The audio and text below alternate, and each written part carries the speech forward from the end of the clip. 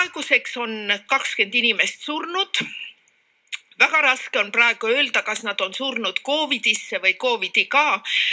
seda, see vajab veel edasisi uuringuid ja ka Euroopas või maailmas ei ole veel väga täpselt kirja pandud, et kuidas, mis on Covidi surma definitsioon, nii et, et praegu on ilmselt see kõige õigem, mida Eesti teha saab, et kõik, kes on olnud Covid positiivsed, on läinud ka Covidi surnutena kirja, kuigi,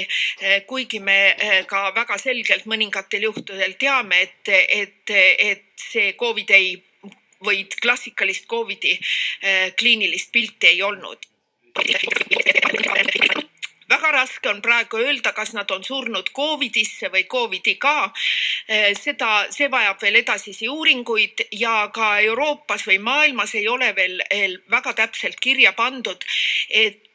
kuidas, mis on Covidi surma definitsioon, nii et, et praegu on ilmselt see kõige õigem, mida Eesti teha saab, et kõik, kes on olnud Covid positiivsed, on läinud ka Covidi surnutena kirja, kuigi, kuigi me ka väga selgelt mõningatel juhtudel teame, et, et, et see Covid ei või klassikalist Covidi eh, kliinilist pilti ei olnud ja surnute keskmine vanus on kaheksakümmend aastat ja, ja neil kõigil on olnud eh, ka kaasuvad haigused. There are other countries that if you had a pre-existing condition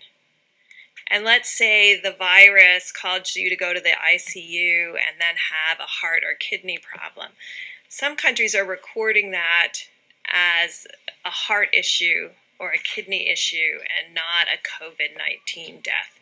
Um, right now, we're still recording it, and we'll. I mean, the great thing about having forms that come in and a form that has the ability to mark it as COVID 19 infection, the intent is right now that those, if someone dies with COVID 19, we are counting them.